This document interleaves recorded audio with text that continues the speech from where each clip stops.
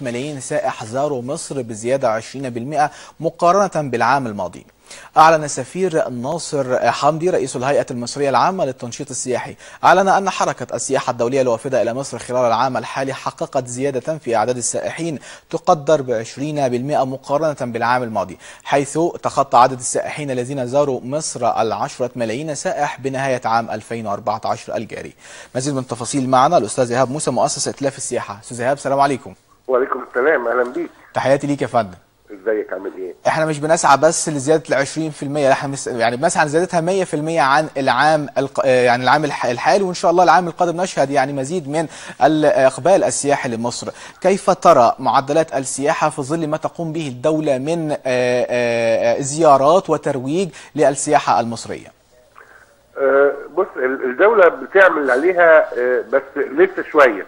لكن آه، معدلات السياحة طبعا 10 في الم... 10 ملايين سايح. نعم. دي أحسن من السنة اللي فاتت شوية شوية كويسين لكن آه، آه، خلي بالك إحنا 2010 15 مليون سايح.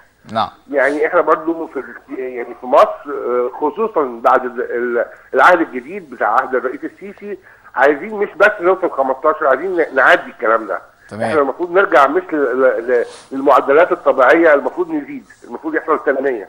فاحنا مش طموحنا خالص 10 ملايين سايح. آه في زيادة وفي تحسن بس مش هو ده الطموح بتاع الناس اللي بتشتغل في السياحة. نعم. آه ده نمرة واحد. نمرة اثنين ال ال ال الناس ال ال الزيادة دي أغلبها جه بعد زيارة الرئيس السيسي لروسيا.